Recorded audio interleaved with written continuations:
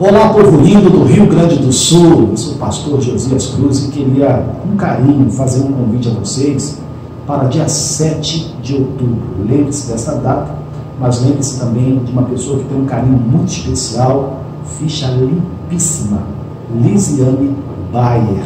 Uma família abençoada, uma mulher de Deus, lutando por você.